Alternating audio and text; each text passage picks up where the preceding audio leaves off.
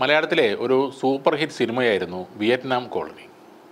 ആ സിനിമ കണ്ട എല്ലാവരും അതിലെ മൂസ സേട്ട് എന്ന നെടുമുടി വേണു അവതരിപ്പിച്ച കഥാപാത്രത്തെ ഓർക്കുന്നുണ്ടാകും. ഇതേപോലെ കൊച്ചിയിലെ ഒരു ചരിത്ര സംഭവമാണ് മൂസ സേട്ട് എന്ന് പറയപ്പെടുന്ന ഇബ്രാഹിം പട്ടേലിന്റെ ജീവിതകഥ. കൊച്ചിയിൽ പഴയ കാലത്ത് ഒരു സിനിമാ തിയേറ്റർ ഉണ്ടായിരുന്നു. വളരെയേറെ പ്രത്യേകതയുണ്ടായിരുന്നു ആ തിയേറ്ററിന്.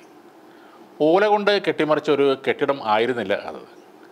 മുല്ലപ്പെരിയാറൊക്കെ നിർമ്മിക്കുവാൻ ഉപയോഗിച്ചിരുന്ന സുർക്കി മിക്സ് ചെയ്ത് കല്ലുകൾ കൊണ്ട് ഉണ്ടാക്കിയ കൊട്ടാരം പോലുള്ള വലിയൊരു കെട്ടിടമായിരുന്നു അത്. കേരളത്തിൽ ആദ്യമായി ട്യൂബ് ലൈറ്റ് കത്തിക്കുന്നത് ഈ തിയേറ്ററിലായിരുന്നു എന്നാണ് പറയുന്നത്. അന്ന് ഇതിനെ വാഴപ്പിണ്ടി വിളക്ക് എന്നാണ് നാട്ടുകാർ വിളിച്ചിരുന്നത്. കേരളത്തിലെ തന്നെ മികച്ച ഒരു കലാസൃഷ്ടിയായിരുന്ന ഈ കെട്ടിടത്തിന്റെ ശില്പഭംഗി കാണുവാൻ മാത്രം കേരളത്തിന്റെ പല ഭാഗത്തു നിന്നും ആളുകൾ അവിടേക്ക് വന്നിരുന്നു. ഈ തിയേറ്റർ പണിയാൻ നേതൃത്വം നൽകിയത് കൊച്ചിയെ തന്നെ അണയിച്ചൊരുക്കിയ പ്രഗത്ഭനായ എഞ്ചിനീയറായ റോബർട്ട് ബ്രിസ്റ്റോ ആയിരുന്നു. ആ തിയേറ്ററിന്റെ പേരായിരുന്നു പട്ടേൽ തിയേറ്റർ എന്നത്. ഈ തിയേറ്ററിന്റെ മുതലാളി ഇബ്രാഹിം പട്ടേൽ സേട്ട് എന്ന ഒരു കലാസ്നേഹിയായിരുന്നു. പട്ടേൽ സേട്ടിന് ഒട്ടേറെ തെങ്ങിൻ തോപ്പുകൾ ഉണ്ടായിരുന്നു അക്കാലത്ത്. പട്ടേലിന്റെ തെങ്ങിൻ തോപ്പിലേക്ക് പോകുന്ന പടിയാണ് പിൽക്കാലത്ത് തോപ്പും പടി ആയത് എന്ന് പറയുന്നു. തന്റെ ആ തെങ്ങിൻ തോപ്പ് വിറ്റ് കിട്ടിയ പണം കൊണ്ടാണ് പട്ടേൽ സൈഡ് അന്ന് ആ തിയേറ്റർ പണിതത്. അദ്ദേഹം ഒരു തികഞ്ഞ മതേതരവാദിയും കലാസ്നേഹിയുമായിരുന്നു. എല്ലാ മതക്കാരും ഒന്നിച്ചിരുന്ന് ആസ്വദിക്കുന്ന ഒരു ദേവാലയം പോലെ ആകണം ആ സിനിമാശാല എന്നാണ് അദ്ദേഹം പറഞ്ഞത്. പട്ടേൽ സേഡ് തന്റെ തിയേറ്റർ അക്കാലത്തെ മദ്രാസ് കാസിനോയുടെ മാതൃകയിലാണ് നിർമ്മിച്ചത്. മദ്രാസ് കാസിനോയിലെ സ്ഥിരം സന്ദർശകൻ കൂടിയായിരുന്നു പട്ടേൽ സേഠ്. വളരെ മനോഹരമായി നിർമ്മിച്ച ഈ തിയേറ്ററിൽ ഒരു തൂണ് പോലും ഇല്ലായിരുന്നു. തൂണുകളൊന്നും ഇല്ലാത്ത കെട്ടിടം അക്കാലത്ത് ഒരു അത്ഭുതം തന്നെയായിരുന്നു. ഇതിന്റെ ഉദ്ഘാടനത്തിന് പട്ടേൽ ഹെലികോപ്റ്ററിൽ വന്നിറങ്ങിയെന്നും ആകാശത്ത് നിന്ന് പൂക്കൾ വിതറിയെന്നും പറയുന്നുണ്ട്. ആദ്യത്തെ ഫിലിം പെട്ടി വന്നിറങ്ങിയതും ഹെലികോപ്റ്ററിൽ തന്നെയായിരുന്നു. പിന്നീട് പ്രസിദ്ധമായ ഹിന്ദി ചലച്ചിത്രങ്ങൾ കൊച്ചിയിൽ വന്നതെല്ലാം ഈ പട്ടേൽ തിയേറ്ററിലായിരുന്നു. കേരളത്തിൽ ആദ്യമായി മോർണിംഗ് ഷോ നടത്തിയതും ഈ തിയേറ്ററിൽ തന്നെയായിരുന്നു. കേരളത്തിലെ ആദ്യകാലത്തെ എ ക്ലാസ് തിയേറ്ററിൽ ഒന്നാണത്. അന്ന് മലബാറിൽ നിന്ന് പോലും സിനിമാ പ്രേമികൾ ഈ തിയേറ്ററിൽ വന്നിരുന്നു. പട്ടേൽ സേഠ് വലിയ രീതിയിൽ ദാനങ്ങൾ ചെയ്യുന്ന ഒരാളും കൂടെ ആയിരുന്നു. അതോടൊപ്പം ഒരു മോശം സ്വഭാവവും അദ്ദേഹത്തിനുണ്ടായിരുന്നു. പണം വെച്ചുള്ള ചീട്ടുകളി.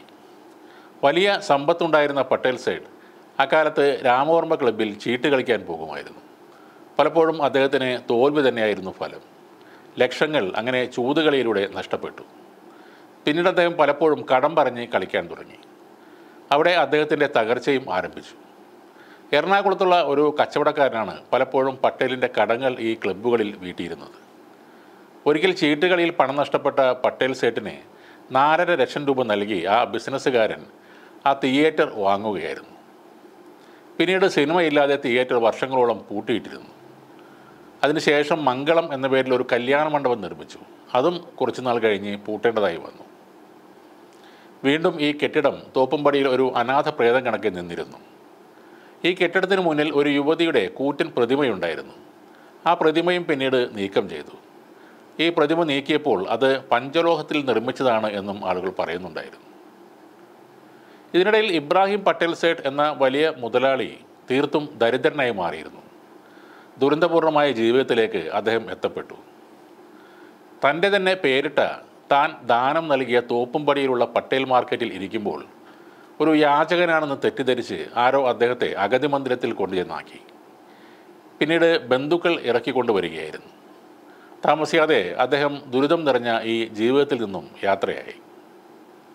പല സ്ഥലങ്ങളിലായി ഏക്കർ കണക്കിന് തോട്ടങ്ങൾ എണ്ണിയാൽ തീരാത്ത വീടുകൾ ഒക്കെ ഉണ്ടായിരുന്ന ആൾ പക്ഷേ മരിക്കുമ്പോൾ തന്റെ കോട്ടിന്റെ പോക്കറ്റിൽ മുഷിഞ്ഞ ഏതാനും കടലാസുകൾ മാത്രമേ ബാക്കിയുണ്ടായിരുന്നുള്ളൂ. വളരെയധികം പാവങ്ങൾക്ക് വീടുകൾ വെച്ച് കൊടുത്ത ആ ധനാഢ്യന് അവസാനം തല ചായ്ക്കുവാൻ ഒരുപാട് അലഞ്ഞു തിരിയേണ്ടി വന്നിരുന്നു. ഇതാണ് വിയറ്റ്നാം കോളനി എന്ന സിനിമയിൽ മൂസ സേട്ടിന്റെ കഥ സിദ്ദിഖ് ലാൽ പറഞ്ഞത്. കൊടുത്ത് മുടിഞ്ഞ അല്ലെങ്കിൽ ചൂതാട്ടത്തിലൂടെ മുടിഞ്ഞ ഒരാൾ എന്ന് പറയാം. എറണാകുളം ജില്ലയിലെ സത്താർ ഐലൻഡ് എന്ന ദ്വീപും ഇദ്ദേഹത്തിന്റെ സ്വന്തമായിരുന്നു എന്നും പറയുന്നുണ്ട്.